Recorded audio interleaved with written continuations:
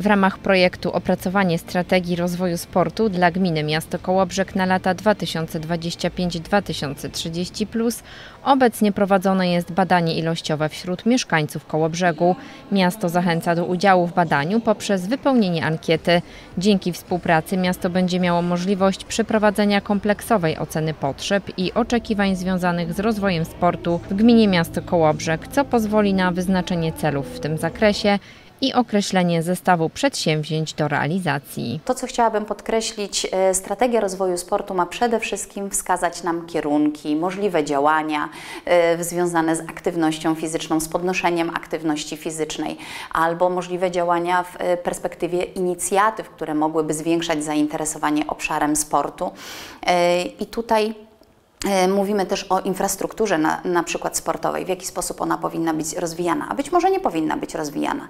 Po to potrzebujemy takiego dokumentu, gdzie firma na nasze zlecenie, wybrana zresztą w postępowaniu konkursowym, przygotuje nam taką analizę ze swojej strony. Elementem tej strategii jest także zebranie różnego rodzaju opinii, zarówno od sportowców, stowarzyszeń, klubów, mieszkańców. Od wszystkich osób, które chciałyby wyrazić swoje zdanie. I ja tutaj naprawdę bardzo zachęcam zachęcam wszystkich, niezależnie od tego, czy się sportem interesują, czy nie, aby wyrazili jednak swoje zdanie, bądź to poprzez ankietę. To jest jeden z elementów, który oczywiście będzie, będzie uwzględniony w strategii, bo będą jeszcze otwarte spotkania. Będą otwarte spotkania, konsultacje.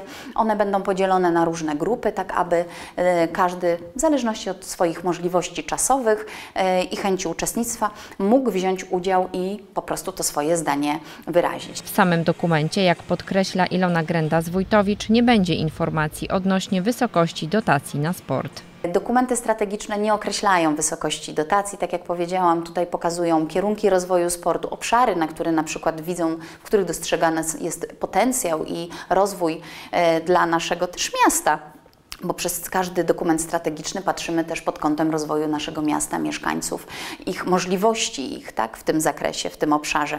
Natomiast nie będzie tam informacji odnośnie tego, czy dawać 5 tysięcy, 50 tysięcy, 5 milionów. E, to wszystko jest uzależnione już od możliwości budżetowych oczywiście naszego, e, naszego miasta. Ankietę można wypełniać do 20 października, która dostępna jest na stronie imyślnikkolobrzeg.pl. Badanie jest w pełni anonimowe, a jego wyniki posłużą wyłącznie do wyznaczenia celów rozwoju sportu, a także zaplanowania działań. Potem mm, dostaniemy pewną taką, takie podsumowanie tych wszystkich ankiet, co z nich wyszło. Sama jestem ciekawa, będę czekać z niecierpliwością, bo jest to, tak jak powiedziałam, jeden z elementów, a następnie firma przejdzie do organizacji spotkań otwartych. Także to też będzie ważny element całej strategii, aby w takich spotkaniach otwartych uczestniczyć. No tutaj wysłuchamy zdań i klubów, i stowarzyszeń, chociaż je poniekąd znamy. Niemniej jednak e, bardzo nas też interesuje wszystkich innych osób, które nie są zrzeszone w klubach, właśnie wszystkich innych mieszkańców, którzy chcieliby się wypowiedzieć. Bardzo gorąco zachęcam.